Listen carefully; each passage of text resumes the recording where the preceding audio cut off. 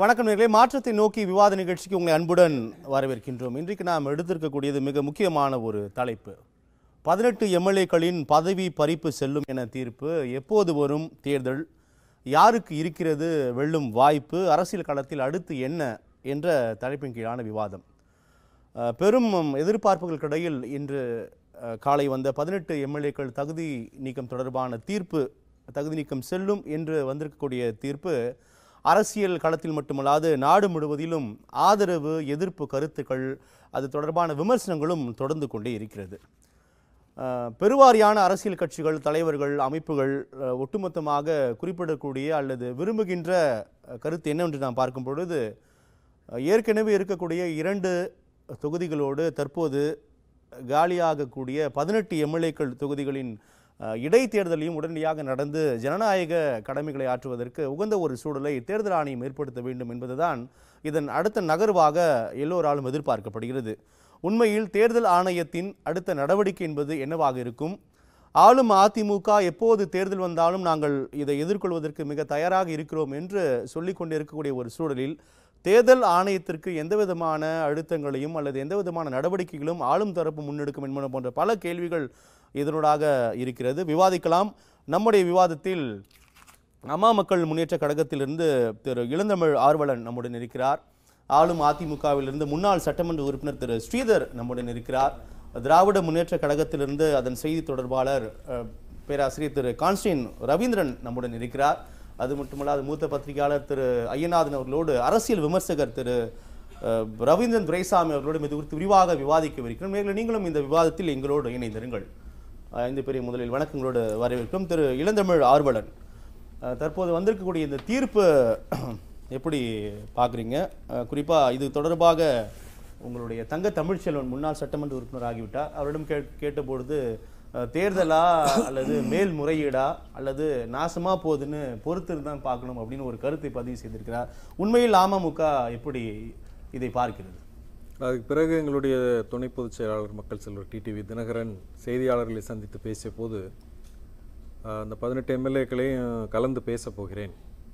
அவர்கள் விருப்பத்துக்கு ஏற்ப தான் ஏன்னா முதல்லையே இந்த தீர்ப்பு வந்தப்போ திரு தங்கத்தமிழ் செல்வன் அவர்கள் நான் வந்து மேல்முறையீடு செய்ய போவதில்லை தேர்தலை சந்திக்கலாம்னு ஒரு கருத்தை தெரிவித்தார் மற்றவங்க எல்லாருமே வந்து இல்லை மேல்முறையீடுன்னு ஒரு வாய்ப்பு நம்ம பார்க்கலான்னு சொன்னப்போ அவர்களுடைய கருத்துக்கு தான் வந்து துணை பொதுச் செயலாளர் முக்கியத்துவம் கொடுத்து அதன்படி தான் செய்தார்கள். அதே அடிப்படையில் இப்பையும் அவர்களோடு கலந்து பேசிவிட்டு இருக்கக்கூடிய வாய்ப்புகள் என்னென்னவோ அதனை மேற்கொள்ளலாம் என்று முடிவு செய்திருக்கிறார்கள். இன்றைக்கு மதுரையில் இன்றைக்கு இரவு அல்லது நாளைக்கு காலையில் அந்த சந்திப்பு நடக்கும் என்று அறிகிறேன். அதை பொறுத்து தான் கட்சி என்ன அடுத்தாப்பில் என்ன நடவடிக்கை எடுக்க போகிறார்கள் என்பதை நாம் புரிந்து கொள்ள முடியும். இரண்டில் ஒன்று வரும் என்று கண்டிப்பாக எதிர்பார்த்ததுதான் உங்கள் கட்சி. இப்படியான ஒரு சூழலில் இனிமேல் தான் இது குறித்தான ஆலோசனைகளில் ஈடுபட போகிறதா அமமுக? இல்லை ஓரளவுக்கு நம்பிக்கையும் இருந்து நீங்கள் சொல்ல மாதிரி ரெண்டு மாதிரியா மிக்ஸ்டு எக்ஸ்பெக்டேஷன் தான்.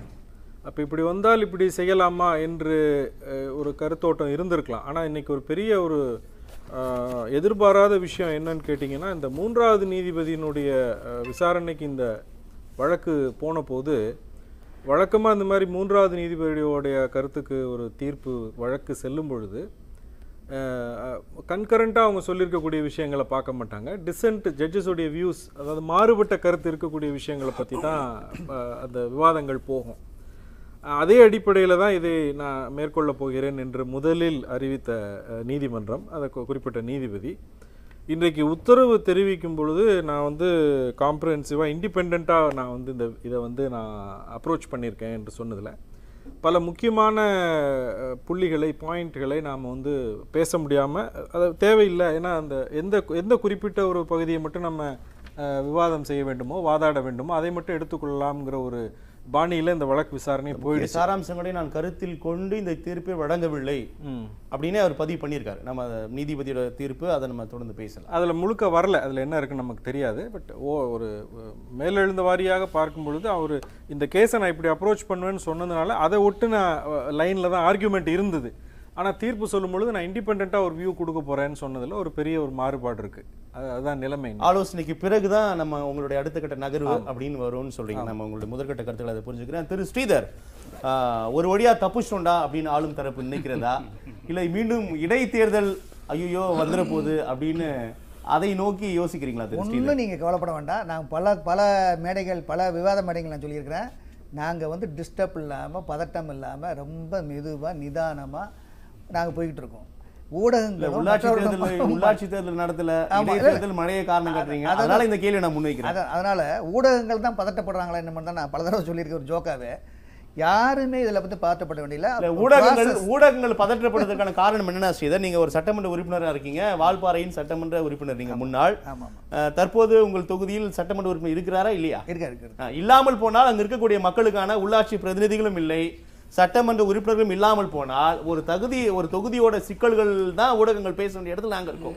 அதனால தான் உங்கள் அந்த- குறிப்பிடக்கூடிய பதற்றத்திற்கான காரணம் எங்களுக்கு மக்களின் பார்வை தான். சொல்லுங்க ஸ்ரீதர் ப்ளீஸ் அதாவது இந்த தீர்ப்பை பொறுத்த வரைக்கும் அவர் தெளிவாக சொல்லியிருக்காரு. ரெண்டு நீதிபதி வந்து தெளிவாக சொல்லியிருக்காரு. இது வந்து இந்த எடியூரப்பா கேஸை ஒட்டின மாதிரி இது இல்லை. அந்த அதுக்குள்ள ஆவணங்கள் சஃபிஷியண்ட் டாக்குமெண்ட் ப்ரூஃப் நீங்கள் கொடுக்கல. ஒன்றாவது வந்து இது எல்லாத்தையும் நான் ஐ அப்ளைட் மை மைண்ட் எல்லா காரியங்களையும் சீர்தூக்கி பார்த்து நான் கொடுத்துருக்குறேன். ரெண்டாவது அவர் கவர்னர்கிட்ட போகும்போது கவர்னர்கிட்ட நீங்கள் கவர்னரே சொல்லியிருக்காரு இது என்கிட்ட கொடுக்குறீங்க? நீங்கள் வந்து you to go to the right place அப்படின்னு சொல்லியிருக்காரு. அப்படின்னு இருக்கும்போது இதில் என்ன நான் என்ன ஆசை ஒரு எக்ஸ்எம்எல்ஏ நான் என்ன சொல்கிறேன் அப்படின்னா இந்த இருபது பதினெட்டு எம்எல்ஏல ஒரு ஆறு மாதத்துக்குள்ளே தான் வந்திருக்காங்க அவங்களுக்கு. அவங்க ஒரு நியூ எம்எல்ஏஸ் அவங்களுக்கு வந்து என்னென்னா அதுக்குள்ளே அந்த சட்டத்திட்டங்க அவங்க அந்த இந்த இந்த ஸ்டாண்ட் எடுக்கிறதுக்கு முன்னாடி என்ன பண்ணியிருக்கணும்னா அவங்க ஒரு சீனியர்ஸ் எம்எல்ஏஸ் அல்லது மற்ற சீனியர் இவங்ககிட்ட கே ஒரு ஒரு ஒரு டிஸ்கஸ் பண்ணியிருந்துருக்கலாம்னு நான் நினைக்கிறேன். பண்ணிவிட்டு அதுவும் ச சபாநாயகர் அவர்கள் அடிக்யூட் ஆப்பர்ச்சுனிட்டி கொடுக்குறாரு கொறடாவும் கொடுத்துருக்குறாரு. இவங்களுக்கு ஏதாவது இஷ்யூஸ் இருந்ததுன்னா நீங்கள் தா தாராளமாக கொறடா போய் போய் பார்த்துருக்கலாம். அல்லது த நீங்கள் வந்து ஒரு சபாநாயகர் தானே சபாநாயகர்கிட்ட போய் நம்ம அவங்க பார்த்துருக்கலாம். ஏன்னா எல்லா எம்எல்ஏயும் சேர்ந்து தான் முதலமைச்சர் தேர்ந்தெடுத்துருக்காங்க. அப்போ அவங்களுக்கு என்னென்னா அவங்களுக்கு வாய்ப்பு அடிக்கவிட்டால் நீங்கள் வாங்க. வாங்க. வந்து உங்களுடைய இஷ்யூ உங்களுடைய பிரச்சனைகளை சொல்லுங்கன்னு ஓப்பனாக டிக்ளேர் பண்ணுறாங்க அதை கூட அவங்க இக்னோர் பண்ணிட்டாங்க. ஸோ கோர்ட்டுடைய ஜட்ஜ்மெண்ட்ஸ் பல கோர்ட்டுகளுடைய ஜட்ஜ்மெண்ட்ஸ் நீங்கள் பார்த்தீங்கன்னா not only the evidence strength of evidence plus the circumstances இது ரெண்டையும் கொராபரேட் பண்ணி தான் பல ஜட்ஜ்மெண்ட்கள் சொல்லுவாங்க. பல க பல கேஸுகளில் ஸோ அதே மாதிரி இவங்க இதை கொடுத்துட்டு நாங்கள் வந்து ஆட்சியை கவுக்க கவிழ்க்கலை முதலமைச்சர் மேலே தான் எங்களுக்கு நம்பிக்கையிலே தவிர இந்த ஆட்சியை கவுக்கலை அப்படின்னு சொல்கிறாங்க பட் ஆனால் இதே ரெட்டலையில் இந்த கட்சியின் தான் அவங்க அந்த தேர்ந்தெடுக்கப்பட்டிருக்காங்க. இப்போ ஆட்சியை கவுக்கலன்னு சொல்லிட்டு நாங்க வந்து வேற என்ன வேற கட்சி மாறி போடலாம் ஆட்சிக்கு எதிராக வாக்களித்த ஓபிஎஸ் உட்பட்ட அவருடைய ஆதரவு சட்டமன்ற உறுப்பினர் இருக்கிறாங்க.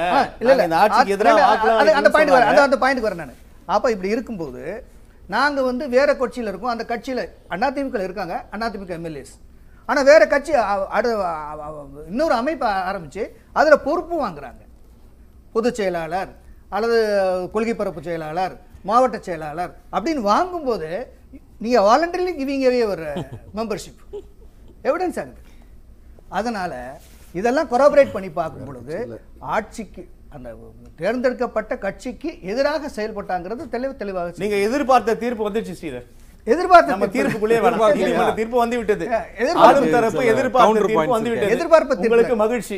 இல்ல இல்லம்மா நாங்க என்ன சொல்றோம்னா நான் என்ன கேக்குறேன்னா அடுத்து இடைத்தேர்தல் எல்லாம் ஃபோக்கஸ் பண்றாங்க. பதினெட்டு ரெண்டு இருபது தொகுதிகள் காலியாக எப்போது அறிவிக்க போகிறது இந்த அரசாங்கம்? அதற்கு எந்த விதமான அழுத்தங்களை கொடுக்க தான் எதிர்பார்ப்பு அதுதான் பொதுமக்களோட கேள்வி. நீங்க அது சொல்லலாம் மாண்பு முதலமைச்சரே சொல்லிட்டாரு அடுத்த எலெக்ஷன் வரட்டும் நாங்க ஃபேஸ் பண்றோம் நாங்க இல்ல இதை சொல்லிட்டே தான் இருக்கீங்க இல்ல இல்ல அடுத்த ஆப்ஷன் அதான் உள்ளாட்சி. தேர்தல். அடுத்த option அதான் அது. முதற்கொண்டு நீங்க அடுத்த- இது வந்து இல்ல, பேசிட்டு தான் இருக்கீங்க இன்னும் in the court of நாடாளுமன்ற தேர்தல் இல்ல. உங்களோட துணை முதலமைச்சர் ரொம்ப தெளிவா சொல்லியிருக்காரு அதுதான் நம்மளோட துணை முதலமைச்சர் நாடாளுமன்ற தேர்தல் மட்டுமல்ல சட்டமன்ற தேர்தல் எந்த தேர்தல் வந்தாலும் அவங்க எந்நேரமும் சந்திக்க தயார் தயாரா ball is in the court of the election commission. அவங்க தான் டிசைட் பண்ணி என்னைக்கு எலெக்ஷன் வைக்கணும். We are ready for the election. Now ball is on election commission அவங்க தான் அவங்க தான் எலெக்ஷன் பத்தி டிசிஷன் எடுக்கணும். நம்ம தொடர்ந்து பேசலாம். திரு பேராசிரியர் கான்ஸ்டன்ட் ரவீந்திரன் உங்களுடைய தலைவர் குறிப்பிடுகிறார் திமுக இந்த வழக்கின் தீர்ப்பு குறித்து கவலைப்பட வேண்டிய அவசியம் இல்லை என்றார். உண்மையிலேயே திமுக கவலைப்படலையா? அதாவது கவலைப்படக்கூடிய அளவிற்கு இதுல ஒண்ணும் இல்லை. கவலைப்பட அவசியமே இல்லைன்றார் அதான் அதாவது கவலைப்பட ஒண்ணும் இல்லை. அது நிஜம் தானே இதில் கவலைப்படுறாங்க அவங்க ரெண்டு பேருக்குள்ள உள்ள பிரச்சனை இதில் கவலைப்படுறதுக்கு ஒன்றும் இல்லை ஆனால் ஒரு அரசியல் ரீதியாக நாங்கள் ஒரு அரசியல் கட்சி என்கிற முறையில் எதிராளிக்கு எதிராக ஒரு சூழல் வருமேயானால் அதை நாங்கள் எதிர்பார்த்து இருக்கலாம் அது வேறு விஷயம். ஆனால் அது வரவில்லையே என்பதற்காக நாங்கள் கவலைப்பட முடியாது. அதுதாங்க. அதாவது நாங்கள் வந்து இந்த இந்த இதில் வந்து இந்த தீர்ப்பில் வந்து இப்போ நாளைக்கு அதிமுக ஆட்சிக்கு ஒரு பங்கம் வருது அப்படின்னு சொல்லி சொன்னால் அதை நாங்கள் எதிர்பார்ப்போம். ஏன்னா நாங்க ஒரு அரசியல்ல நாங்கள் ஒரு எதிர் இடத்துல இருக்கிறோம். எங்களுடைய எதிராளிக்கு ஒரு சூழல் வந்து நெகட்டிவா போகுது அப்படின்னா அதை நாங்க வரவேற்போம். எதிரே வரவில்லை என்பதற்காக. நாங்கள் கவலைப்பட வேண்டிய அவசியம் உங்கள். எதிரே ஒரு இருபது தொகுதி காலியா இருக்கு. அது ஒருவேளை தேர்தல் அறிவிக்கப்படலாம் அறிவிக்கப்படக்கூடும். இந்த ஒரு விவகாரத்தை எப்படி பாக்குறீங்க? திமுக அது உங்களுக்கு பெரிய சவாலா இருக்காதா? இதுல ஒண்ணும் சவால் ஒண்ணும் இல்ல. அதைக்குமே அவர் பசியாத்தே பதில் சொல்லிட்டாரு. இந்த ரெண்டு இந்த பதினெட்டு இருபதையும் சேர்த்து உடனே தேர்தல் நடத்தி ஜனநாயகத்தினுடைய நிலைப்பாடுகளை அல்லது ஜனநாயக கோட்பாடுகள் நிலைநிறுத்தப்பட வேண்டும் என்பது தான் திராவிட முன்னேற்ற கழகத்தினுடைய எதிர்பார்ப்பு. இதில் வந்து இன்னைக்கு இருக்கிற சூழ்நிலையில் நீங்கள் வந்து ஏற்கனவே அந்த ரெண்டு தொகுதிக்கு வந்து என்னென்னா அதில் அதில் மிகப்பெரிய பெட்ரையல்ஸ் நடந்திருக்கு. அதாவது ம- முதலமைச்சர் வந்து மதுரைக்கு போய் ஒரு கூட்டம் நடத்துகிறாரு கூட்டம் நடத்துறதுக்கு முன்னாடியே தலைமைச் செயலாளர் ஒரு கடிதம் எழுதுறாரு. அந்த டேட்டு என்னைக்கு இவர்கிட்ட கான்ஃபரன்ஸ் வாங்காம அவங்க அனுப்புனாங்களா? இதெல்லாம் பார்க்கும்போது தேர்தலை சந்திப்பதற்காக ஆளும் கட்சி ஒரு அச்சத்தோடு இருக்கிறது. அதைத்தான் எங்கள் தலைவர் சொல்லுகிறார். இதையெல்லாம் பார்க்காம எலெக்ஷன் கமிஷன் நேர்மையா நடத்தணும். இதற்கு பின்னாடி மத்திய அரசு விளையாடி கொண்டிருக்கிறது. இந்த மத்திய அரசு ஜனநாயகத்தின் இப்ப பாத்தீங்கன்னா மத்திய அந்த அந்த இரண்டு தொகுதிகள் மீது தேர்தல் ஆணையத்தின் மீது திமுக வைத்த விமர்சனம் தற்போது பதினெட்டு தொகுதிகள் மீதும் தொடருமான்னு கேட்கிறேன் புரியல. அந்த இரண்டு தொகுதிகள் மீது திமுக ஒரு விமர்சனத்தை வச்சீங்க இல்லையா? ஆமா. திருவாரூரில் மழை திருப்பரங்குன்றத்தில் திமுக அப்படின்னு தான் சொல்றாங்க. இல்ல அதை அதை ஏத்துக்கல. எலெக்ஷன் கமிஷன் அதுல என்ன ஒண்ணுனா இதுதான் அந்த விளையாட்டு. சித்து விளையாட்டுங்கிறது என்னன்னா ஒரு எனக்கு தெரிஞ்சு இது வரைக்கும் நூத்துக்கும் மேற்பட்ட கேஸ் நூத்துக்கும் மேற்பட்ட கேஸ் பெண்டிங்ல இருக்கும்போது எலெக்ஷன் நடந்திருக்கு. அப்போ ஒரு கேஸ் பெண்டிங்ல இருக்குங்கிறதுக்காக எந்த தேர்தலையும் இதுவரைக்கும் நிறுத்தியதாக வரலாறு கிடையாது. இது தலைமைச் செயலாளருக்கு தெரியாமல் இருக்க வாய்ப்பில்லை. அப்படி அவர் தெரிந்திருந்தார் அவர் தலைமைச் செயலாளராக இருக்க தகுதி இல்லை இந்த ரெண்டுல ஒன்று தான் நம்ம முடிவு பண்ணணும். அப்போ எனக்கு தெரிஞ்சு என் சொந்த தொகுதி ராதாபுரத்தில் ரெண்டாயிரத்தி ஆறில் சேர்மா தொகுதியில் நின்ன வேலு அவர்களுக்கு வந்து அங்கே வந்து அவர் நிற்க நின்னது செல்லாது. ஏன்னா பிடபிள்யூல அவர் கான்ட்ராக்ட் எடுத்திருந்தாரு அப்படின்னு சொல்லி அந்த கேஸ் இருக்கும்போது ரெண்டாயிரத்தி பதினொன்றில் எங்கே சொந்த தொகுதி ராதாபுரத்தில் வந்து நின்னார். அவர் தேர்தலில் நாமினேட் பண்ணதுக்கு பிறகு தான் தேர்தலில் அங்கேருந்து தேர்தல் கமிஷனுடைய எலெக்ஷன் ரிசல்ட்டு ஜட்ஜ்மெண்ட் வந்தது. இவர் நின்னது செல்லாது. அங்கே நின்னது செல்லாது அப்படின்னு. அதனால் ஒரு தே ஒரு கேஸ் இருக்குங்கிறதுக்காகவே ஒரு தேர்தலை நிறுத்தி வைக்க முடியாது என்பது தான் இதுவரைக்குமான வரலாறு. ஆனால் திமுக தலைமை தேர்தல் ஆணையம் தெளிவா சொல்லியிருக்காரு. ஆறு மாதத்திற்குள் அங்க இடைத்தேர்தல் நடப்பதற்கான ஒரு பரிசீலனை செய்யப்படும் செய்யப்படும் சொல்லியிருக்கிறாரு. இது அவர் அதை தெளிவா சொல்றாரு. இன்னொன்னு இந்த கேஸ் பத்தி அவங்க கவலைப்பட வேண்டிய அவசியமே இல்லை. அதனால இதுல திமுகவை இழுத்து விடணுங்கிறதுக்காக தலைமைச் செயலாளர் முதலமைச்சரும் சேர்ந்து இதை பண்ணி விட்டுட்டு அதாவது சரி ஒருவேளை வச்சுப்போமே. திருவா திருப்பரங்குன்றத்திலேயே திமுக வழக்கு இருக்கட்டுமே. திருவாரூர் என்னாச்சு? அப்பவுமே தெரியலையா நமக்கு? அப்ப இதுல வந்து அதாவது அதிமுக வேட்பாளர் வழக்கு அதை விட்டலான்னு சொல்றீங்க. ஆளுங்கட்சியை மட்டும் இல்ல இல்ல ஆளுங்கட்சியை மட்டும் சொல்லிடக்கூடாதுங்கிறதுக்காக இல்லாத ஒரு காரணத்தை சொல்லி திமுகவின் பெயரை கெடுப்பதற்கு இவங்க பண்ணாங்க. இப்பவும் நாங்க சொல்றோம் சார். எலெக்ஷன் கமிஷனுக்கு மிக விரைவில் எங்க தலைவர் அதுக்கு வேண்டிய நடவடிக்கைகள் எடுப்பார். இந்த பதினெட்டு பிளஸ் ரெண்டு இருபது இதற்கு உடனடியாக தேர்தல் நடத்தப்பட வேண்டும். அதில் மக்கள் மன்றம் என்ன தீர்ப்பளிக்கிறது என்பதை நாம் பார்க்க இதற்கான நடவடிக்கைகளை திமுக மேற்கொள்ளும். கண்டிப்பாக. அதுதான் இருக்கக்கூடிய உங்கள் முன்னால் இருக்கக்கூடிய கேள்வி. திரு. ரவீந்திரன் துரைசாமி நம்ம ஆர்கே நகர் இடைத்தேர்தலிருந்தே நம்ம இர- இரண்டாயிரத்தி இருபத்தொன்னு வர வரக்கூடிய சட்டமன்ற தேர்தலாக இருக்கட்டும் இல்லை அதற்கு முன்னதாக நடைபெறக்கூடிய நாடாளுமன்ற தேர்தல் இது எல்லாத்துக்குமே நம்ம அதை ஒப்பிட்டு பார்க்கலாம் அப்படின்னு தான் உங்களை போன்ற அரசியல் விமர்சகர்கள் அதை நம்ம பார்க்குறோம். இப்படியான ஒரு சூழலில் இருபது தொகுதி இப்போ வந்து தேர்தல் வருவதற்கான வாய்ப்புகள் இருக்கு. வரும் அப்படின்னு நாம நம்பலாம். இந்த ஒரு இடத்துல இந்த அரசியல் களம் எப்படி புரிஞ்சுக்கலாம்? இல்லை ரவீந்திரன் இன்னும் அவங்க சரியான முடிவு எடுக்கலைன்னு தான் அவங்க சொல்கிறாங்க அப்பீல் பண்ணுறதா அது அப்பீல் பண்ணாமல் விடுறதாங்கிற பற்றி அவங்க முடிவு எடுக்கல. ஆலோசித்து தான் முடிவு எடுப்பேன்னு தானே சொல்கிறாங்க அதற்கு பிறகுதான் இதற்கான பதில் அதுக்கு அப்புறம் தான் இதுக்கான பதில் சொல்ல முடியும். என்றால் நீங்க யூ நீங்கள் யூகத்தின் அடிப்படையில் தேர்தல் வந்தா எப்படி இருக்குன்னு என்கிட்ட கேட்கல அதுதான் நான் ஸ்ரீதரை குறிப்பிட்டது போல ஒருவேளை அறிவிக்கப்படுமே ஆனால் என்ன கேட்கிறேன். நீங்க எலெக்ஷன் வந்து ஆளுங்கட்சி தோத்து போகும் அதனால் நீங்க அச்சப்படுறீங்கிற ஒரு குற்றச்சாட்டு எல்லா அஹ், சொல்லத்தான் செய்வாங்க. சொல்றதுல நியாயங்களும் இருக்கும். அதே வேளையில் ஆளுங்கட்சி வந்து என்ன பண்ணும்னா தனக்கு எது சாதகமோங்கிற ஒரு டாக்டிக்கல் மூவை தான் அவங்க எடுத்து போவாங்க. இன்றைய தினம் என்னோட ஆளுங்கட்சி இன்னைக்கு முதலமைச்சர் கூட நாங்கள் வெற்றி பெறுவோங்கிற அவருக்கு இன்னைக்கு கவர்மெண்ட் ஸ்டேபிளாக இருக்குது. அதனால் நாங்கள் வெற்றி பெறுவோங்கிற இதை சொன்னாலும் கூட என்னோட அனுமானம் வந்து அவர் வந்து ஒரு பறந்துபட்ட முப்பத்தொம்போது பாராளுமன்ற தேர்தலில் உள்ள ஒரு ரிசல்ட்டோட நம்ம ரிசல்ட் நிற்கட்டுங்கிற அடிப்படையில் தான் அவர் போகிறதுக்கான வாய்ப்புகள் தான் அதிகம்னு நான் கருதுறேன். அதாவது பாராளுமன்ற தேர்தலோட அந்த தேர்தலை கொண்டு போவதான் ஆளுங்கட்சி விரும்பும்னு என்னோட. இடைத்தேர்தல். அவர் மறுக்கலாம். நாங்க ஜெயிப்போம் போனாலும் அவர் மறுக்கலாம் அது அவர் உரிமை. ஆனா என்னோட ஒரு பார்வையாற்றல் வந்து கொண்டு போகணும் தான் நினைக்கிறேன். ஏன் அந்த அளவு கொண்டு போகணும்னு நான் நினைக்கிறேன்னா அவங்க வந்து கட்சி ஸ்ட்ரென்த்தில் தான் இருக்கிறாங்க. இப்போ இந்த இடைத்தேர்தலில் ஸ்டார் கேண்டிடேட்டாக தினகரன் வெற்றி பெற்றிருக்காரு ஐம்பது சதவீத வாக்குகள் பெற்றிருக்கிறாரு. மீண்டும் வந்து இந்த இடைத்தேர்தலில் இவரோட வேட்பாளர்களுக்கு நிற்க வாய்ப்பு கிடைச்சுன்னா அவங்கெல்லாம் டிஸ்குவாலிஃபை ஆனவங்க. அவங்க சென்ட்ரிக்காக அதில் ஒரு ஒரு லி- ஒரு அட்வான்டேஜ் அவருக்கு கிடைக்க வாய்ப்பு இருக்குது. இந்த டிஸ்குவாலிஃபை பதினெட்டு பேருக்கும் அந்த பதினெட்டு பேர் சென்ட்ரிக்காக ஒரு அட்வான்டேஜ் கிடைக்கும். அவங்க நிற்கக்கூடிய பட்சத்தில். அதுக்கு சட்டம் எல்லாம் அனுமதிக்கூடிய பட்சத்தில். அப்போ அப்படிப்பட்ட ஒரு அட்வான்டேஜ் பொசிஷனில் எதிரி இருக்கிறத வந்து யாருமே வந்து போர்க்களத்தில் விரும்ப மாட்டாங்க. நீங்கள் வந்து அது தைரியம் இருக்கா? பயப்படுறீங்களாங்கிறத அது சொல்லிக்கலாம். அதில் அது சொல்கிறனால தொடச்சிட்டு போயிடுவாங்க ஆனால் என்னோட அனுமானப்படி முப்பத்தொம்பது தொகுதியில் நம்ம பார்ட்டி ஸ்ட்ரென்த்தில் நம்ம பார்ட்டியை வச்சு ரெட்டையில பார்ட்டி பார்ட்டியில் நைன்டி பர்சன்ட் பார்ட்டி அவங்கள்ட்ட இருக்குது. இதை வச்சு நம்ம என்ன எஸ்டாப்ளிஷ் பண்ணுவோங்கிறத அவங்க பார்ப்பாங்க. அது மாதிரி திமுகவும் வந்து அவங்க உடனே எலெக்ஷன் பண்ணுறாரு ஸ்டாலின் வந்து அதுக்கான முயற்சிகள் பண்ணுறாங்கன்னு சொன்னாலும் கூட அவங்களும் வந்து பார்ட்டி வைஸ் பார்ட்டி பார்ட்டி ஸ்ட்ரென்த்தை நம்ம ஒரு பெரிய அணியோட ரெண்டாயிரத்தி பத்தொம் பத்தொ- பத்தொன்பது பாராளுமன்ற தேர்தலில் நம்ம வந்து ஒரு மத சார்பற்ற ஒரு பெரிய அணியை கட்டமைச்சு அதில் நம்மளோட பலத்தையும் நம்மளோட சக்தியை நிரூபித்து நாம் அதில் வந்து ஒரு வெற்றி வீரராக எமர்ஜாய் வருவோன்னு தான் திமுகவும் பார்க்கும். இதுதான் யதார்த்தம். இரண்டு அல்ல இருபது தொகுதிகளையும் நாடாளுமன்ற தேர்தலோடு பொருத்தி பார்க்க தான் திமுக ஆசைப்படும் சொல்றீங்க. நிச்சயமா திமுக. பட் நீங்க ஃப்ரே ஃபேஸ் காட்டுறதும் உடனே நடத்துங்கன்னு சொன்னாலும் வைகோ பேசுறாரு அஹ், திருநாவுக்கரசர் பேசுறாரு எல்லாருமே அவங்க கூட வந்து நாங்க எலெக்ஷன் கமிஷன் நடவடிக்கை எடுப்போம்லாம் சொல்றாங்க. என்றாலும் கூட அவங்களுக்கு அட்வான்டேஜ் பொசிஷன் ஒரு ஒரு பெரிய அணி ஒரு கேடர் பேஸ்டு ஒரு ஆர்கனைஸ்டு செட்டப் உள்ள பார்ட்டிங்கும் போது வந்து ஒரு ஜென்ரல் எலெக்ஷனை சந்திக்கிறது தான் more advantage position for ADMK and DMK so அதைத்தான் ரெண்டு பேருமே விரும்புவாங்கன்னு நான் நான் கருதுறேன். திரு ஐயநாதன் மூத்த பத்திரிகையாளராக உங்களுடைய பார்வை நான் ஸ்ரீதரிடம் கேட்ட கேள்வி உங்களிடம் பதிவு செய்ய விரும்புகிறேன். ஏற்கனவே சில மாதங்கள் அந்த தொகுதியின் சட்டமன்ற உறுப்பினர் இல்லாத ஒரு நிலை.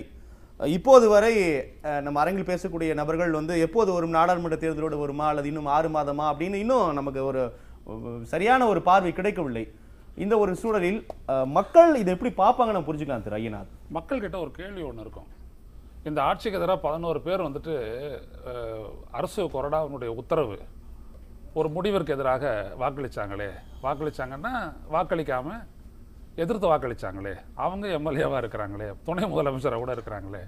இவங்க வந்துட்டு ஆளுநர்கிட்ட போயிட்டு மனு கொடுத்தவங்க இன்றைக்கி வந்துட்டு சபாநாயகரால் பதவி நீக்கம் செய்யப்பட்டாங்களே. சட்டத்தை புரிஞ்சிக்கவே முடியலப்பா அப்படின்ற அளவுக்கு அவங்கக்கிட்ட ஒரு எண்ணம் இருக்கும். இதை மட்டும் பதிவு செஞ்சுருவோம். அடுத்தபடியாக ஆறு மாதத்திற்கு உள் என்று ஒரு வரையறை தான் அது. அது இன்னும் ஒரு பத்து நாளில் கூட இவங்க அனௌன்ஸ்மெண்ட் பண்ணலாம். இல்ல அதுவும் அது இது வழக்குக்கு பொருந்துமான்னு தெரியல இல்லையா? அது மற்றும் ஒரு கேள்வியும் இருக்கிறது. இல்லை இல்லை. இப்போ இவங்க வந்துட்டு ஒரு ரெண்டு மூணு நாளில் மேல்முறையீடு செய்யாத ஒரு பட்சத்தில் இன்றைய நிலையில் தேர்தல் ஆணையம் நடவடிக்கை எடுக்கலாம். இல்லையா? அப்படி எடுக்கும் பொழுது உடனடியாக தேர்தல் வைப்பது என்பதுதான் முறையானது. ஒரு ஒரு மாதத்திற்குள் அதை அறிவித்து ஒரு ஒன்றரை மாதத்திற்குள் வந்துட்டு அந்த தேர்தலை நடத்தி முடிக்க வேண்டும். ஆறு மாதம் வரைக்கும் பொறுத்திருப்போம் அதோட சேர்த்து நடத்துவோம் அப்படின்ற கணக்கெல்லாம் வந்துட்டு அது வந்துட்டு அடிப்படை அல்ல. ரெப்ரசன்டேட்டிவ் டெமோக்ரஸி பிரதிநிதித்துவ ஜனநாயகத்தில் வந்துட்டு மக்கள் பிரதிநிதியை பெற்றிருக்க வேண்டும். அதை நீங்கள் எந்த காரணத்தையும் சொல்லிவிட்டு ரொம்ப நாள் நீங்கள் இழுத்தடிச்சிடாதீங்க அப்படின்றதுக்காக தான் ஆறு மாத வரையறை எனவே இந்த ஆறு மாதம் அப்படின்னு சொல்லிட்டு மக்களவை தேர்தலோடு நடத்தலாம் அப்படின்லாம் சொல்லிட்டு தள்ளி போடலாம் கூடாது. ஒரு மக்களுக்கு அந்த பிரதிநிதிகள் வேணும். நீங்களே எதன் நடுவில் குறிப்பிட்ட மாதிரி அங்கே உள்ளாட்சி பிரதிநிதிகளும் தமிழ்நாட்டில் கிடையாது. அதிகாரிகள் ராஜ்யம்தான் அங்கே. அது இல்லாத எதுவும் நடக்குது அப்படின்னோம்னா வந்துட்டு அது சரியில்லை. மக்களுக்குரிய அந்த ஜனநாயக உரிமையை தங்களுடைய பிரதிநிதியை பெற்றிருக்கக்கூடிய உரிமையை எவ்வளவு வேகமாக நிறைவேற்றுமோ அதற்காகத்தான் தேர்தல் ஆணையம். ஒருவேளை தேர்தல் நடந்தால் யாருக்கு சாதகமாக இருக்கும்? பத்திரிகையாளராக உங்களுடைய பார்வை என்பது என்ன? இல்லை அது வேற. அது வேறு. இன்றைக்கு இருக்கக்கூடிய சிக்கல்கள்லாம் வந்துட்டு வேறு வேறு பார்வையிலெல்லாம் போகாது. மக்கள் நல்ல பாதிப்புக்கு உள்ளாக இருக்கிறாங்க இப்போல்லாம் ரொம்ப நிறைய விஷயங்கள் தெரியும். ரஃபால் வரைக்கும் தெரியும். நிறைய தொலைக்காட்சிகள் வந்தது நிறைய விவாதிச்சிட்டோம். நிறைய திணிச்சிருக்கிறோம். அதனால் அவங்களும் நல்லா யோசிப்பாங்க. இன்றைக்கி ஏறி இருக்கக்கூடிய பெட்ரோல் விலையெல்லாம் இருக்குது டீசல் விலையெல்லாம் இருக்குது. மணல் கொள்ளையெல்லாம் கண்ணு முன்னாடி தான் நடந்துக்கிட்டு இருக்குது. இங்கே பதிமூணு பேர் சுட்டு கொண்டு இருக்கிறாங்க. அங்கே மக்களை எல்லாம் துரத்தி அடிச்சிருக்கிறாங்க. சேலம் எட்டு வழிச்சாலை அப்படின்ட்டு. இதெல்லாம் மக்கள் மனதில் வேலை செய்யத்தானே செய்யும். அந்த இது மதுக்கடைகளை நிறைவு இது அகற்றுங்கன்னு சொன்னவங்களை வந்துட்டு ஒரு டிஎஸ்பி ஓங்கி அரைஞ்சிருக்கிறாரு. எல்லாம் மறந்தா போயிட போகுது. அதெல்லாம் வேலை செய்யும். அப்போ அதனுடைய தேர்தல் முடிவுகள் எப்படி போகுன்றதை பார்ப்போம். திரு ஐயனார் தான் இது எல்லாவற்றையும் நினைவுபடுத்தி கொண்டே இருக்கிறார் நம்ம தொடர்ந்து ஞாபகம் சிறிய விளம்பர இடைவேளைக்கு பிறகு மீண்டும் நாம் விவாதத்தை தொடரலாம். மாற்றத்தை நோக்கி தொடர்கிறது. திரு. ரவீந்திரன் துரைசாமி உங்கள் முன்னால் இரண்டு தொகுதிகள் அல்ல இருபது தொகுதிகள் இருக்குது. இதில் வெற்றி தோழி நம்ம பேசும்பொழுது குறிப்பிட்டார். அது மற்றொரு டிபேட் நம்ம அப்படி தொடர்ந்து பேசினார் ஆனா திராவிட முன்னேற்ற கழகம் இது ஒரு இது- இதை எப்படி இப்ப பாக்குதுன்னு கேட்கிறேன். ஏன்னா நேற்று இதே அரங்கில் இந்த இது தொடர்பான விவாதத்தில் நான் திமுகவினரிடம் இந்த கேள்வி எழுப்பினேன். இரண்டு வருடங்கள் ஆகிவிட்டது. இரண்டாயிரத்தி பதினாறு தேர்தல் நடந்திருக்கணும் உள்ளாட்சி தேர்தல் நடத்தப்படவில்லை. திராவிட முன்னேற்ற கழகமும் மீண்டும் வழக்கு நீதிமன்றத்தை எதிர்பார்த்து தான் ஒரு பிரதான எதிர்க்கட்சி காத்துக்கொண்டே இருக்குமா அப்படின்னு ஒரு கேள்வி எழுப்பினேன். இப்போ ஏறக்குறைய இதுக்கும் அது பொருந்துமோன்னு என்னால் யோசிக்க தோணுது. கரெக்டு. அதாவது ஒரு விஷயம் என்னென்னா கான்ஸ்டிடியூஷனல் ஹெட்ஸ் என்று சொல்லப்படுகிற ஒரு அரசியலமைப்பு அதிகாரம் கொண்ட அமைப்புகள் சரியாக செயல்படாத போது இது போன்ற நாம் எதிர்பார்க்காத சில ஜனநாயக முரண்பாடுகள் நடந்தே தீரும். இது முறைப்படி கவர்னர் வித்யாசாகர் ராவில் இருந்து அவர்கள் ஜனநாயக முரண்பாடுன்னு சொல்றீங்க? ஜனநாயக முரண்பாடு என்பது என்னைக்கு வந்து நீங்க இந்த ஆட்சிக்கு வந்து நம்பிக்கை தீர்மானம் கொண்டு வந்திருக்கணுமோ அன்னைக்கு இந்த நம்பிக்கை இல்லா தீர்மானத்தை கொண்டு வரல. அதுல இருந்து நீங்க போஸ்ட்போன் பண்ணீங்க. போஸ்ட்போன் பண்ணி வித்யாசாகர் ராவ் முடிஞ்ச வரைக்கும் இந்த கவர்மெண்ட்டை ஒரு செட்டில் ஆகிற வரைக்கும் கொண்டு வந்து விட்டுட்டு அவர் போயிட்டாரு. அப்புறம் இவர் வந்தாரு புரோஹித். வந்ததுக்கு பிறகு புரோஹித் வந்து அவருடைய prime and foremost constitutional duty அப்படிங்கிறது ஒரு கவர்மெண்ட்டுக்கு ஐம்பது பெர்சன்டேஜ் ப்ளஸ் ஒரு எம்எல்ஏ இருக்கிறாரான்னு செக் பண்ணுறது இன்னைக்கு வரைக்கும் அவர் அதை பற்றி கவலைப்படவே இல்லை. அப்படி பார்த்தால் எனக்கு தெரிந்து நாங்கள் ஆசைப்படுகிறோம். இந்த இருபது தொகுதிக்கும் உடனடியாக தேர்தல் அறிவிக்கப்பட வேண்டும் அதிலே போட்டி போட வேண்டும். மக்கள் இன்னைக்கு தீர்ப்பு- தீர்ப்புல நீதிபதி வேணா ஃப்ளோர் டெஸ்ட் பண்ணலாம்னு குறிப்பிட்டாரு. ஃப்ளோர் டெஸ்ட் வேணும்னா நீங்க பண்ணலாம் அப்படிங்கறத அவர் குறிப்பிட்டிருக்கிறார். அது இல்லைன்னு சொல்ல இப்போ அவர் சொன்ன உடனே இதை யார் செய்யணும் அப்படின்னு சொல்லி சொன்னா யாராவது ஒரு ஆள் போய் சபாநாயகர்கிட்ட நோட்டீஸ் கொடுக்கணும். சபாநாயகர் அதுக்கப்புறம் அதை இதை கன்வீன் பண்றதுக்கு அசம்பிளியை கன்வீன் பிரதான பண்றதுக்கு எதிர்க்கட்சி திமுக தான் பண்ணும். இல்ல நாங்க மூவ் எடுக்கலாம். Correct. நாங்க மூவ் எடுக்கலாம். நாங்க அதை யார் செய்யணும்? செய்யற இடத்துல இருக்குது யாரு? நாங்க எடுத்து என்ன பண்றது? கவர்னர்கிட்ட அவ்வளவு கொடுத்தோம்? நாங்க மட்டுமா கொடுத்தோம்? தமிழ்நாட்டில் இருக்கிற எழுபது கட்சி பிறக்க போற கட்சியினுடைய தலைவர் கூட கொண்டு போய் கொடுத்துட்டாரு. ஏங்க இந்த ஆட்சியில ஊழல் நடக்குதுன்னு. என்ன செஞ்சுட்டாரு கவர்னர்? அப்போ ஒண்ணு தெரியுது. இங்க நடக்கிறது அதிமுக ஆட்சி நம்ம பேசிட்டு இருக்கிறோம். நடக்கிறது பாரதிய ஜனதா கட்சியினுடைய ஆட்சி. மத்திய அரசு விரும்பாத வரைக்கும் இங்க எந்த அரசியல் மூவும் நடக்காது. அது என்ன விரும்புகிறதோ அதைத்தான் இல்ல இல்ல. நான் நான் சொல்லி முடிச்சேன் வார்த்தைக்கு வார்த்தை தான் பேசிட்டு இருக்கீங்க. நான் நான் வர ஸ்ரீதர்கிட்ட வரேன். கேட்கணும். இது நடப்பது பாஜக நீங்க தான். இல்ல ஒரு விஷயம் என்னன்னா இது- இது வரைக்கும் இந்த நிமிஷம் வரைக்கும் அதிமுக விரும்பிய பாதையில் இந்த ஆட்சி போயிருக்கிறது என்பதை அதிமுக ஆட்சியில் இருக்கிற அமைச்சர்களும் முதலமைச்சர்களும் தவிர வேறு யாராவது ஒத்துக்கொண்டிருக்கிறார்களா? தமிழக அரசியல் களத்தில். சார் உள்ளாட்சி தேர் தேர்தல் தடையா? பாஜக. நீதிமன்ற தீர்ப்பா? பாஜக. என்னதான் என்ன ஏன் எல்லாத்துக்குமே பாஜக தானே? இல்ல, இல்ல உள்ளாட்சி தேர்தலுக்கும் நான் வரேன், நான் உள்ளாட்சி. தேர்தலுக்கும் பிஜேபிக்கு நான் சொல்றேன் நம்ம அதை சொல்லுங்க. நான் இந்த பதில் நான் ஸ்ரீதர்கிட்ட கேட்கணும். இல்ல உள்ளாட்சி தேர்தலுக்கும் பிஜேபிக்கு சம்பந்தம் இல்லாம இருக்கலாம். அது வேற விஷயம். ஏன்னா உள்ளாட்சி தேர்தலை போய் மத்திய அரசு என்ன பண்ணும்? மாநில அரசு தான் நடத்தணும். அது வேற. மீதி நடக்கிற ஆதரவு இல்லாத ஆட்சியை நகர்த்துகிறதுன்னு சொல்றீங்க. நான் சொல்ற திமுக தான் இந்த காரியத்தை பண்ணுன்றீங்க. நீங்க சொல்றீங்க மீண்டும் அதற்கு பாஜக மேல பழி போடுறீங்க. ஆமாங்க இன்னைக்கு நடந்து இருக்கிறது டெஸ்ட் இப்ப நடத்தலாம்னு சொல்றாங்க. திமுக அதற்கான முன்னெடுப்புகள் முன்னெடுக்கலாமே. இல்ல நாங்க முன்னெடுத்தாலும் யார் பண்ணணும்? இப்ப நாங்க எடுக்காம இருந்த மாதிரில நீங்க சொல்றீங்க. நாங்க இப்ப ஃப்ளோர் டெஸ்ட் கேட்டோம்ல போய் கவர்னர்கிட்ட கொண்டு லெட்டர் கொடுத்தோம்ல நடந்துச்சா? நாங்க முன்னெடுக்காம இருந்திருந்தா சரி. நாங்க முன்னெடுத்தோம்ல அங்க நடந்துச்சா? சரி அதே மாதிரி. அடுத்தால் அங்கே நடந்துச்சு ஃப்ளோர் டெஸ்ட் நடந்ததுல. நடந்தப்போ ஓபிஎஸ் அவர்கள் வந்து பதினோரு பேரோட பார்த்து ஒன் பிளஸ் டென் பதினோரு பேர் எதிர்த்து ஓட்டு அளிச்சாங்கல்ல என்ன நடந்தது? அவங்க மேலே என்ன ஆக்ஷன் எடுத்தாரு? சபாநாயகர் என்ன பண்ணியிருக்கணும்? எதையாவது கவர்னர் கேட்டாரா? ஏன் பொறுப்பெடுக்கல? அப்போ நாங்கள் என்ன சொல்ல வரோம்? இந்த ஆட்சி இருக்கிறது என்பது மத்தியில் இருக்கிற அரசாங்கம் தனக்கு வேண்டியதையெல்லாம் தமிழகத்தில் செய்து கொள்வதற்கு இந்த ஆட்சி ஒரு பொம்மை ஆட்சியாக இருக்கிறது.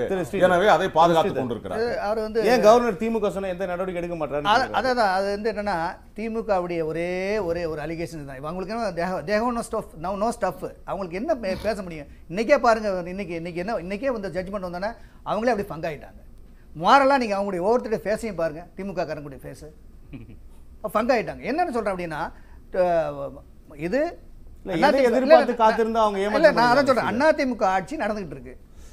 பிஜேபியுடைய பினாமி ஆட்சி பிஜேபி ஆட்சி இது அஹ், அப்படின்னு இவர் சொல்றாரு. இது என்ன சென்ஸ்ல சொல்றாருன்னு எனக்கு தெரியல. ஏன்னா ஒன்று சொல்றேங்க Sixth இன்னைக்கு. அதாவது என்னன்னா மத்திய அரசு மாநில அரசும் மத்திய அரசும் எப்படி இருக்க வேண்டுமோ அந்த இலக்கணத்தில் போய் கொண்டிருக்கிறது. ஆனால் கட்சி வேறு ஆட்சி வேறு. நாங்க வந்து அதிமுக வந்து பிஜேபியோட இணக்கமாக இல்லை. ஆனா அதிமுக அரசு சென்ட்ரல் கவர்மெண்ட் மத்திய அரசோடு இணக்கமாக இருக்க வேண்டும். அது எம்ஜிஆர் புரட்சத்தில் எம்ஜிஆர் இருக்கும் பொழுதே அவ்வளவு பவர்ஃபுல்லா இருக்கும் பொழுதே அவர் மத்திய அரசை பகைத்து பகைத்து கொண்டதே கிடையாது. இங்க இருக்கவங்க எல்லாத்துக்குமே தெரியும். அதை நீங்க மறுக்க மாட்டீங்க. அதுதான் ஏன்னா. இருங்க இருங்க இருங்க நான் சொல்லிடுறேன். இருங்க அரசு சொல்றேன். இல்ல இல்ல நான். ஒரு government நடத்தணும்னா major majority of the schemes வந்து centrally sponsored scheme majority of the funds வந்து சென்ட்ரல் கவர்மெண்ட் தான் வரணும். ஆனா நீங்க சென்ட்ரல் கவர்மெண்ட் எழுத்துக்கிட்டுலாம் அவர் மாநில அரசு செய்ய முடியாது முதல்ல. கொடுத்த கோரிக்கையில. ஒரு வரல. நிறைய உள்ளாட்சி தேர்தலுக்கு. நிதி வரல. ரெண்டாவது உள்ளாட்சி அமைப்புகளுக்கு இன்னைக்கு இன்க்ளூடிங் பிஜேபி அவங்க எங்களை ஆட்சி அவங்க எங்களை ஆட்டி படை நான் அவங்க வந்து எங்களை ஆட்டி படைக்கிறாங்கன்னா அவங்க எதுக்குங்க எங்களை வந்து எதிர்பார்த்துட்டு இருக்காங்க கூட்டணிக்கு வாங்க அதிமுக கூட்டணிக்கு வந்துருமா அது வந்துருமா எதுக்கு எதிர்பார்த்துட்டு இருக்காங்க அவங்க இல்ல அதிமுக அதிமுக அதிமுக பாஜக இணக்கம் காட்டவில்லை என்னைக்கு? பாஜக அதிமுக. அவங்க? எங்களை. ஆட்டி படைக்கிறான்னா அவங்கள வந்து எங்க கட்சி வந்து அவங்க பாக்கெட்டுக்குள்ள வச்சுக்கணும் ஆனா எதுக்கு அவங்க தேங்கி இதுகிட்டு இருக்காங்க? அதிமுக அதிமுக கூட்டணி வந்துருமா வந்துருமான்னு எதுக்கு எதிர்பார்த்துட்டு இருக்காங்க? இது ஊரறிந்த உண்மை ஃபேக்ட் இது யாரும் உண்மைதான். உண்மைதான். இல்ல இல்ல. சொல்றேன். எது உண்மைன்னா? இந்த இந்த கருத்து இவர் கூட்டணி சம்பந்த கருத்து உண்மை. இல்ல சொல்றேன் இல்ல இல்ல. நீங்க. சொல்றத தெளிவா சொல்லுங்க. நான் தெளிவா சொல்றேன். இல்ல இல்ல. சம்பவத்தை வச்சு சொல்றேன். இந்த இந்த என்ன நான் சொல்றேன்னு சொன்ன முறை நீங்க பேசிட்டு இருந்தீங்கன்னா நான் நான் சொல்றேன்னு சொன்ன. பிறகு நான் சொன்னேன்னு சொன்ன பிறகு நீங்க பேசிட்டு எந்த கருத்தை கேட்கிறாரு துரைசாமி? அந்த கூட்டணிக்காக பாஜக தான் அதிமுக நோக்கி போய் கொண்டிருக்கிறது அதிமுக இல்ல அதுதான் நானே கேட்டேன். ஸ்ரீதர் அதைத்தான் நானும் சொல்றேன். அப்படி அப்படி. இருக்கும் பட்சத்தில் பாஜக பாஜக சார்பா பேச ஆள். பாஜக பாஜக சார்பா இங்க பதில் சொல்ல ஆள் இல்ல. ஆளு இல்ல, நான் அதை பிஜேபி தவறு போல. வேணாம். பிஜேபிக்கு நான். கருத்தை இல்ல, நான் இன்னொரு கருத்து சொல்றேன். கருத்தை நான் எந்த அடிப்படையில் நான் சொல்றேங்கிறத சொல்லிட்டு சொல்லுங்க சொல்லுங்க நீங்க. இல்ல. அதை சொல்ல விடலையே. நான் சொல்றேன். நேத்து டிடிவி தினகரன் சொன்னாரு நாங்கள் அவரோட ஸ்டாண்டு பிஜேபியால் பாதிக்கப்பட்டவர் பிஜேபி பாதிக்கப்பட்டவரால் அவருக்கு ஆதரவு வளையம் இருக்குது பிஜேபி எதிர்ப்பாளர்லாம் அவரை சப்போர்ட் பண்ணுறாங்க அது நியாயமான ஒன்றும் கூட. பாஜக கூட்டணி இல்லைன்னு சொல்லும்போது மாநில பாஜக தலைவர் தமிழிசை கடுமையாக நாங்கள் எங்கள் உங்களோட வந்து உங்களோட கூட்டணி இல்லைன்னு ஓங்கி அடிக்கிறாங்க. அது முந்தானத்து நடந்ததுக்கு அடிக்கிறாங்க. தம்பித்துறை பாஜக கூட இது வந்து கடுமையா அடிக்கும் போது தமிழிசை சவுந்தரராஜன் பதில் சொல்ல முடியல திணறாங்க. நேத்து தமிழிசை சவுந்தரராஜன் வந்து அதிமுக கூட்டணி இல்லைன்னு சொல்லதுக்கு தமிழிசை சவுந்தரராஜனுக்கு தெளிவா இல்ல. ரெண்டுமே பார்த்தா தெரியும். அப்ப ஆக தெளிவா பாஜக அதிமுக கூட்டணிக்கு இயங்கிட்டு இருக்கு.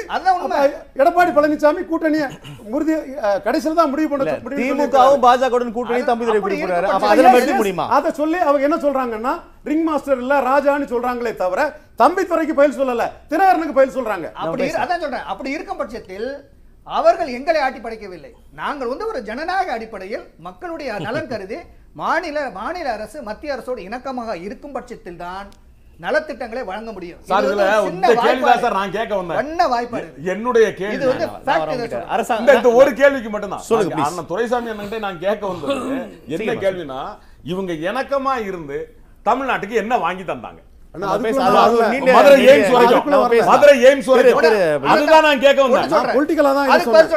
பாஜகவுக்கு அதிமுக தேவை. அதிமுகவுக்கு பாஜக தேவை. காரணம் தமிழ்நாட்டுல பாஜக எதிர்ப்பை பாஜக கூட யாரும் கூட்டணி போகாத அளவுக்கு பொது வழியில ஐயந்தானம் போன்ற ஆர் ஆர்வலர் மட்டுமல்ல கடுமையா அந்த உருவாயிருக்கு. அதோட விளைவு தான் இது.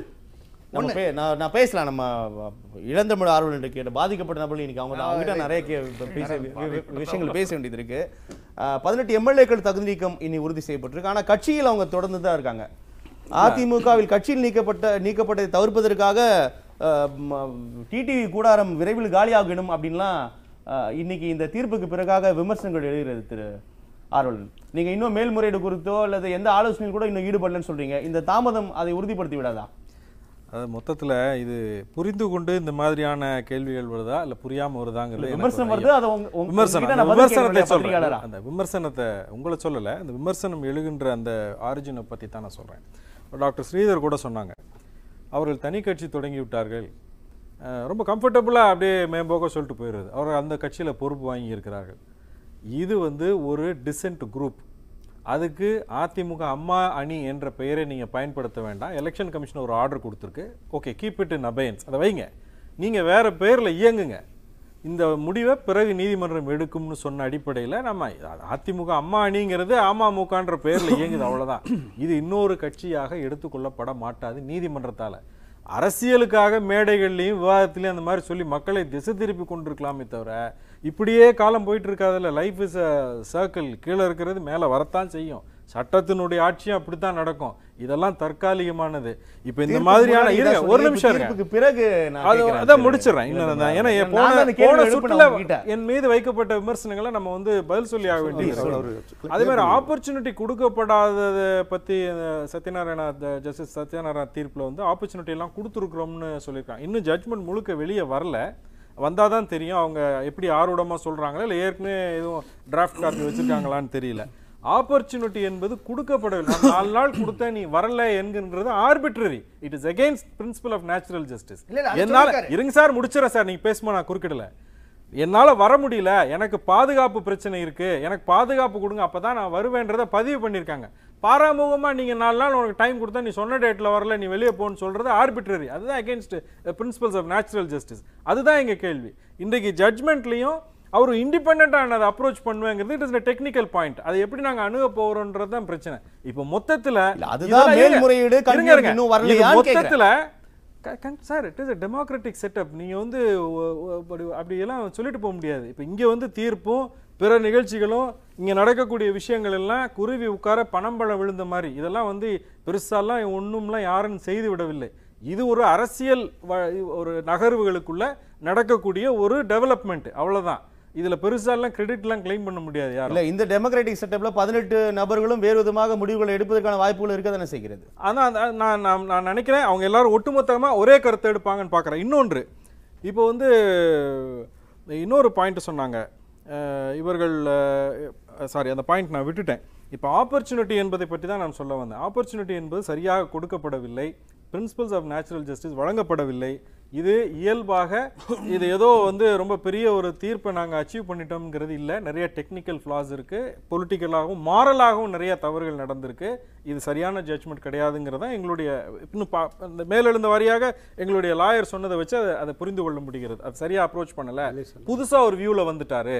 நாங்க அந்த ஆஸ் யூஷுவலா உள்ள இதுல நாங்க இந்த கேஸை வந்து ஆர்கியூ பண்ணதுக்கான வாய்ப்புகள் இல்லை அங்கிற விஷயத்தையும் சொல்லியிருக்கார் அதுதான் இதுல ஃபண்டமெண்டலா நம்ம பார்க்க இதுக்கு ஒரே ஆப்ஷன் மேல்முறையீடு தான். நீங்க சொல்ற நீங்க சொல்றது இதுல இருக்கு. புரிந்து கொள்ள இன்னொன்னு நான் சொல்றேன். இந்த உள்ளாட்சி தேர்தல் இதுகள்லாம் சொன்னாங்க இல்லையா? உள்ளாட்சி தேர்தல் மற்ற மற்ற வரக்கூடிய இடைத்தேர்தல் எந்த தேர்தலா இருந்தாலும் சரி மக்கள் மக்களுக்கு வந்து பிரதிநிதிகள் இல்லாம ஏகப்பட்ட கஷ்டப்படுறாங்க அப்படின்ட்டு. இது மொத்தமா இங்க ஆட்சியே இல்லைங்கிறது தான் ஒரு விஷயம். ஒரு பொம்மை ஆட்சி தான் இருக்கு.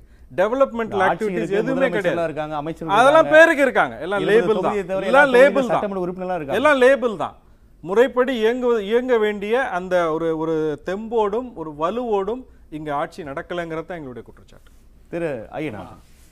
இதில் திரு ஸ்ரீதர் அவர்கள் சொன்னது அவர் ஏற்கனவே சட்டமன்ற உறுப்பினராக இருந்தவர். அவர் சொன்னார் மத்திய அரசோட இணக்கமாக போய். இது என்ன அப்படின்னீங்கன்னா அது என்ன இணக்கமாக போகிறது அவங்க இவங்களோட இணக்கமாக வரமாட்டாங்களா? இல்ல அதுதான் சொன்னாரு. வரேன் வரேன். நான் சொல்றது ரவீந்திர அதை இந்தியாவினுடைய. அரசமைப்புல இந்த அட்மினிஸ்ட்ரேட்டிவ் அட்மினிஸ்ட்ரேட்டிவ் ரிலேஷன்ஷிப் அப்படின்ற சொல்ல. கான்ஸ்டிடியூஷன்ல இருக்கக்கூடிய அந்த இருநூத்தி நாற்பத்தி எட்டுல இருந்து நீங்க வரிசையா பாத்தீங்க அப்படின்னம்னா ரெண்டு பேரும் சேர்ந்து ஒரு விடயத்தை செய்யறதுல ஓவர்லேப் ஆகக்கூடாது அவ்வளவுதான். இப்போ ஒரு முடிவு எடுத்துட்டாங்க. ஒரு உதாரண உதாரணத்துக்கு வந்துட்டு அவங்களுடைய உரிமைக்கு உட்பட்ட அதுல இருந்து ஒரு முடிவு எடுத்துட்டாங்கன்னா அதே கிளாஸில் நீங்களும் போயிட்டு ஒரு சட்டம் இயற்றக்கூடாது தமிழ்நாடு சட்டமன்றம் புரியுதுங்களா? இந்த மாதிரி ஓவர்லேப் ஆகிட்டீங்க அப்படின்னம்னா ஒரு குழப்பம் ஏற்படக்கூடாது அப்படின்றதுக்காக தான். எந்த இடத்திலும் இந்திய ஒன்றிய அரசுக்கும் இந்தியாவினுடைய மாநில அரசுகளுக்கும் ஒன்றின் மீது ஒன்று அதிகாரம் செலுத்தக்கூடிய நடைமுறை இல்லை. Unless that is divided by the powers accorded as per the state list central list concurrent list அவ்வளோதான் நீங்க போயிட்டு நிதி ஆதாரத்துக்காகவும் நிதி தேவைக்காகவும் இந்திய ஒன்றிய அரசை கெஞ்சணுன்ற எந்த அவசியமும் கிடையாது. எங்க இருந்து போச்சு நிதி? நாம. பெறுவது எவ்வளவு? அவர்கள் இங்கிருந்து பெற்று போனது எவ்வளவு. ஒண்ணு. ரெண்டாவது இன்னொரு விஷயம். சரி. அடுத்தபடியா. கேக்குறேன்.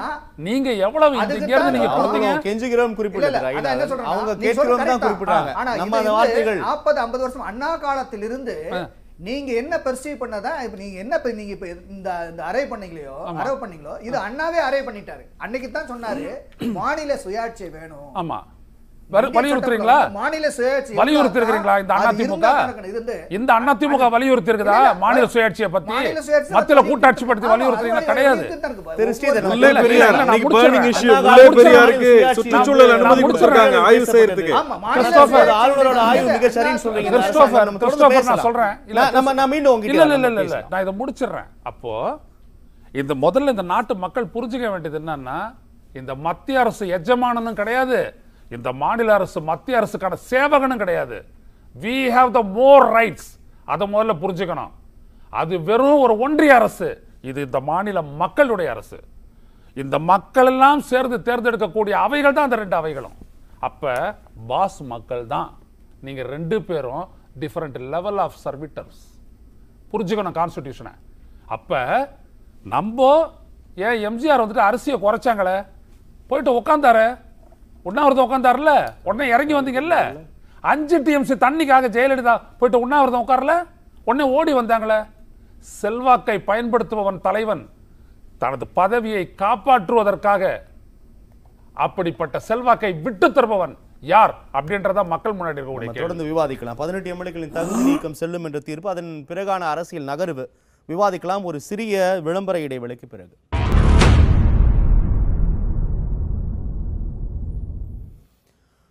மாற்றத்தை நோக்கி தொடர்கிறது. திரு ஐயநாதன் இடைவேளைக்கு முன்னாடி குறுக்கிட்டு. உங்களுடைய கருத்துக்களை ஆமாமா. முழுமையா சொல்லி முடிக்கணும் அதாவது ஒண்ணே ஒண்ணுதான். இந்த அரசுக்கும் இந்த மத்திய அரசுக்கும் நெருக்கமான இன்றைக்கு இருக்கக்கூடிய இந்த சர்வைவல் பாலிடிக்ஸ்னுடைய அடித்தளம் என்ன அப்படின்னம்னா கான்ஸ்டான்டைன் ரவீந்திரன் ரொம்ப நல்லா சொன்னார். அதுதான் உண்மை.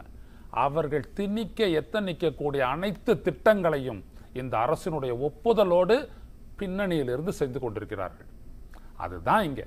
அதை தவிர இதை- இதை- ஒ- இதை- ஒண்ணு இதை நான் சொல்றேன். object பண்றேன். இல்ல நான் அதை சொல்லிடுறேன். சொல்றாரு. ஒரு அரசியல் நான் ஒரு சின்ன ஒரு ஃபிட்ட ஒரு ஃபிட்டஸ்ட் சொல்றேன். ஒரு ஃபைல் ஒரு ஸ்டேட் கவர்மெண்ட் ஸ்கீம் வந்து சென்ட்ரல் கவர்மெண்ட் அப்ரூவலுக்காக போகுது. நீங்க சென்ட்ரல் கவர்மெண்ட்டுடைய அப்படிய ஒரு இணக்கமான சூழ்நிலையிலேனா அந்த ஃபைல் அப்படியே கிடக்கும். நீங்க வந்து யூ cannot கொஸ்டின் இட் நான் சொல்றேன் சொல்லி முடிச்சிடறேன். மார்ச் அதுக்கு பேர் சொல்லி சொல்லுங்க. ஒரு? பேர் முடிஞ்ச. உடனே அந்த ஸ்கீம் அவ்வளவுதான் அதோட முடிஞ்சு போயிடும். அப்ப லாஸ் யாருக்கு? ஸ்டேட் கவர்மெண்ட் யாரு? ஸ்டேட் கவர்மெண்ட் மக்களுக்கு இதுக்கு தான் ஒவ்வொரு ரீஜனல் பார்ட்டிஸும் ஒவ்வொரு ரீஜனல் பார்ட்டிஸும் மேல வரணுங்கிற ஒரு கான்சென்சஸ் எல்லா ரீஜனல் பார்ட்டிக்கும் இனிமேல் இந்த மாஸ்டர் சர்வெண்ட்ங்கிற இது மத்திய அரசு வந்து ஒரு எஜமான் மாநில அரசு வந்து ஒரு சர்வெண்ட் மாதிரி இருக்கக்கூடாதுங்கிறது தான் எல்லாருடைய கான்செப்ட் ரீஜனல் பார்ட்டிஸ். அதுக்கு தான் ரீஜனல் பார்ட்டிஸ் அதனால தான் சொன்னது அனைத்து அதிமுக வந்து அப்புறம் அனைத்து இந்திய அண்ணா திராவிட முன்னேற்ற கழகமா மாறினதே தான் சார் அதெல்லாம் தெரியாம சார் தான் ஒரே ஒரு விஷயம் சார் கேசி நான் கேக்குறேன். சார் நான் கேக்குறேன் இன்னைக்கு இன்னைக்கு. நான் திட்டங்களுடைய பேரை சொல்லி நான் உங்களை நான் மறுக்கிறேன் பாருங்க இன்னைக்கு. வந்துட்டு. பெரியார் அணைக்கு. வந்துட்டு பெரியார் அணைக்கு பதிலா ஒரு மாற்று அணை கட்ட போறாங்கல்ல இல்ல இல்ல அதுக்கு கட்ட போற. விஷயத்தை வந்துட்டு எதிர்க்கிறார்ல சுற்றுச்சூழல் எதிர்த்து இவர் போட்டிருக்கிற திரு முதலமைச்சர் பழனிசாமி அவர்கள் போட்டிருக்கக்கூடிய அந்த லெட்டரை பாருங்க பாயிண்ட் பிளாங்க் அண்ட் கிளியர் வேற யாரும் அதுக்கு மேல சொல்ல வேணாம். நீ கட்ட போற இடத்துல கட்டணும் ஒத்துக்கிட்டோம் அப்படின்னம்னா நடந்துச்சு அப்படின்னம்னா சொட்டு தண்ணீர் எங்களுக்கு கிடைக்காது. அப்படின்னு சொல்லிட்டு டொப்போகிராஃபில இருந்து எடுத்து பேசி எழுதி வச்சிருக்கிறாரு. ரைட்டா ஆனா கேசி கருப்பண்ணன் என்ன செய்யறாரு மக்களினுடைய கருத்தறியவே வேணாம் மத்திய அரசு திட்டங்களுக்குன்றாரு. எப்படி சொன்னீங்க? சுற்றுச்சூழல். யாருக்காக சொன்னீங்க? ஒரு இடத்துல வாழ்வாதாரம் பாதிக்குது அப்படின்னு சொல்லிட்டு ஒரு ஒரு இடத்துலயும் கருத்து கேட்கணும் அப்படின்னும் போது பிளாங்கா நீயே போட்டு எழுதி கொடுக்குற எப்படி? அதாவது- பாரத் மாலா பரியோர்ஜனா திட்டத்தின் கீழ் பத்தாயிரம் கோடிக்கு இந்த சேலம் சென்னை இதை வந்துட்டு என்ன சொல்றாரு எடப்பாடி? ஃபாஸ்டா போறதுக்குன்றாரு. பாரத் பரியோர்ஜனா அதை பத்திய சுற்றுச்சூழல் அறிக்கையை கொடுக்கணுன்றது இடத்துல அது என்ன சொல்றான்னா that is an economic trade காரிடார்ன்றான் நீ அப்ப போக்குவரத்துக்கு நீங்க எப்படி சொல்றீங்க? அப்ப அவங்கள வச்சு திசை திருப்பறதுக்கு நீங்க ஆளா இல்லையா? இல்ல இல்ல. அதுதான். நீதிமன்றமும் தன்னுடைய கருத்துக்களை பதிவு செய்திருக்கிறது. வருதுன்றதை நீங்க? சொல்றீங்களா நீங்க? அதாவது இங்க பாருங்க. அது முடிக்கட்டும். ஒரு விஷயம் நீங்க வந்து ஆத்மாத்மா ஒத்துக்குங்க.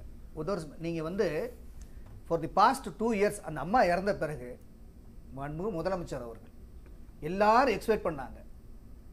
இவ்வளவு டர்மாயிலையும் இவ்வளவு சிக்கலான சிறுமலையும் இந்த மாதிரி ஒரு எஃபிஷியண்டா நான் இதுக்காக சொல்லல, இப்ப இருக்க முதலமைச்சர் எடப்பாடி அண்ணனை தவிர வேற யாருமே பண்ண முடியாது. சார் அதாவது பதவியை fantastic. பதவியை கிறிஸ்டோபர் நலத்திட்டங்களை செயல்படுத்தல. மதுவிலக்கு அமல்படுத்த முடியல. மக்களுக்கு எதிரான திட்டங்கள் மத்திய அரசாங்கம் திணிக்குது இருபது தொகுதிகள். மொத்த வித்தியாசத்தை நான் சொல்லிடுறேன். அவரு பதவி அப்படின்ற ஒரு இடத்துல இருந்துட்டு அரசுன்ற ஒரு இடத்துல இருந்து பேசுறாரு. நான் தமிழ்நாட்டு மக்களுடைய நலன்ற இடத்துல பேசுறேன் இல்ல, அது- சார் அந்த. மக்களுடைய நலன் தான் சொல்றேன் நானு. இல்லையே. இல்ல இல்ல மக்களுடைய நலன் தான் சொல்றேன் அதான் ம- இல்லையே. இல்ல இல்ல மக்களுடைய அது நீங்க என்ன சொன்னா நம்ம இங்க உட்கார்ந்து பேச கூடாது திட்டங்கள் மக்கள் கிட்ட போய் பேசணும். அதே மக்களுடைய வேணான்றாரு திட்டங்கள். சுற்றுச்சூழல் அமைச்சர் வேணான்றாரு மக்களுடைய திட்டங்கள். என்ன வாக்குகளை சொல்லி வந்து வா- வா- வாக்கு வாக்குகளை பெற்று ஆட்சி அமைத்தோமோ அந்த திட்டங்கள் எல்லாமே செயல்பட்டு கொண்டிருக்கிறது எந்த வித மாற்று அதனால தான் சொல்றோம் நீங்க எலெக்ஷன் வைங்க எட்டு அதான் மக்களோட மக்களோட நலனுக்கு மிக முக்கியமான விஷயம் தேர்தல் இப்ப இப்ப இந்த தொகுதி எப்ப எப்ப காலியா அறிவிக்க போறீங்க ஸ்ரீதர்? அவங்க அறிவிக்கிறது இல்ல அது நோக்கியான அது நோக்கியான நடவடிக்கைகளை எப்ப எடுப்பீங்க? என்ன நான் எங்க எங்களை எங்க கட்சியத்தை பொறுத்தளவுல நாளையில இருந்து கூட ரெடி ஆனா இது செலவு இது பாலிஸ் இந்த கோர்ட் ஆஃப் எலெக்ஷன் கமிஷன் அவங்க தான் முடிவு பண்ணது. ஏன்னா Yeah, மழை சொல்லுங்க. மழை பெய்யும். மழைக்கு பிறகு வெயில் அடிக்க போகுது அது வேற. சொல்லுங்க. இதுதான். இப்போ இணக்கமாக இருந்து நாங்கள் வந்து நிதிகளை பெறுகிறோம்னு சொல்றாங்க. திட்டங்களை பெறுகிறோம்னு சொன்னால் திட்டங்கள் வரக்கூடிய திட்டங்கள் ஏற்கனவே மக்களால் எதிர்க்கப்பட்ட திட்டங்கள் வேகம் எடுக்குது. சரிங்களா? இன்றைக்கி இருக்கிற பொலிட்டிக்கல் சினாரியோ திட்டங்கள் புதிய திட்டங்கள் மத்திய அரசாங்கம் என்ன கொண்டு வந்திருக்காங்க? இவங்க இணக்கமாக இருந்து ஒரு புது ஸ்கீமை வந்து கான்செப்சுவலைஸ் பண்ணி அதை கொண்டு வந்து தமிழ்நாட்டு மக்களுக்கு கொடுக்கணும்னு சொல்லி ஏதாவது நடந்திருக்கா? இதெல்லாம் கிடையாது. இணக்கமாக இருந்து ஆட்சியை தக்க வைத்துக் கொண்டிருக்கிறார்கள்.